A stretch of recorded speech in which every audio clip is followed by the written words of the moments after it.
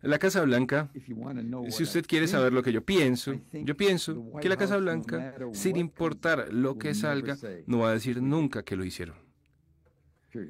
Punto. Nunca.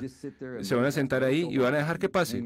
Y van a, a, pegarse a lo que dijeron porque las implicaciones de lo que hicieron son extremas. ¿Usted cree que le van a decir a Europa? Miren, decidimos que es mejor para ustedes no tener ningún tipo de combustible, que todas sus fábricas se cierren porque nos preocupan que ustedes no puedan respaldarlos, respaldarlos en una guerra contra el...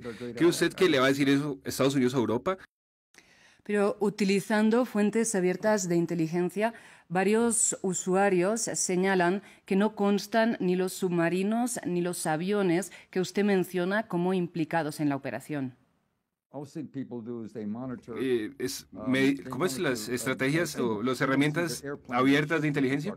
Sí, estas personas en el OSINT monitorean señales. Ellos no ven aviones o naves, ellos ven señales. Los aviones tienen transponders, las naves emiten códigos y no puede trabajar con esos códigos. Ellos no pueden encontrar nada de lo que yo dije, pero también saben que algo ocurrió. Y no les sorprendería que la gente que maneja esta operación sean expertos en este tipo de inteligencia de fuente abierta. El gobierno de Estados Unidos lo primero que hace es lidiar con estas personas, ponen todo tipo de señales y hacen pensar que el mundo es verde y que se puede manejar de esa manera. Por supuesto, eso es lo que se hace con la inteligencia abierta. Se convierte en una especie de activo a la hora de ocultar las misiones. Pero yo no puedo explicarle eso al mundo y esperar que crean.